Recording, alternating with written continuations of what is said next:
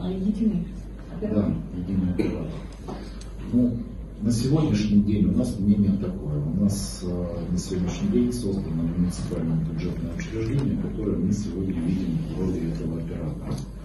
Отдавать эту функцию сегодня каким-то коммерческим структурам, пока мы не увидели целесообразности. Мы думаем, что